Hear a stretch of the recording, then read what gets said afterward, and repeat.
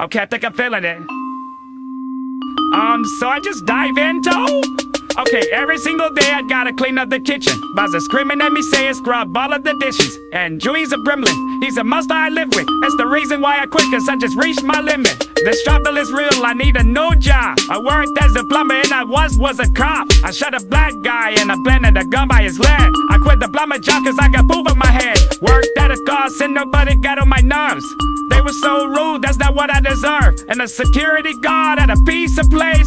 The mustards came alive, we stayed too late. To quit Bowser, he treats me like a slave. Always make me watch his brat, but I barely keep paid.